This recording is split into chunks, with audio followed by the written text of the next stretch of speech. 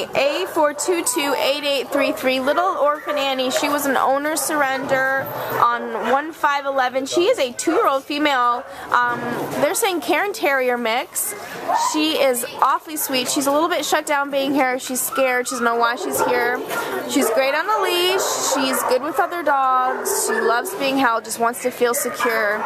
Just does not want to be here, nor should she be. So please come get Annie. She'll be a great companion dog. Uh, lounge on your lap and get, get on walks. So come get her. A4228833. Annie! Annie, your face. Annie, too much going on.